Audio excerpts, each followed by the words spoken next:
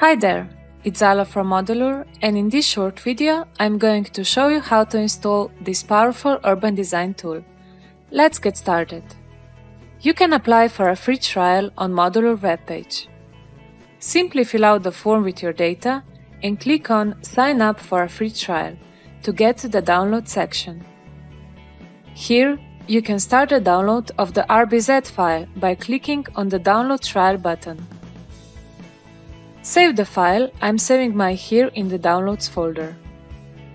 Once the download is done, open SketchUp, go to Window, Extension Manager and click Install extension. The dialog window will open, where you can locate the downloaded file.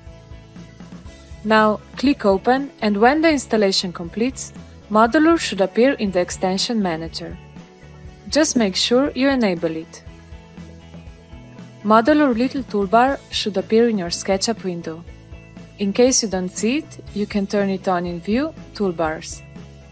You can direct the toolbar around and place it where you like.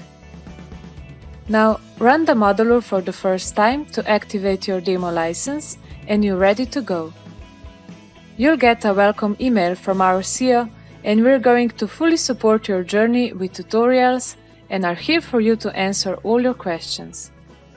Thanks for watching and if you have any questions, please just drop us an email.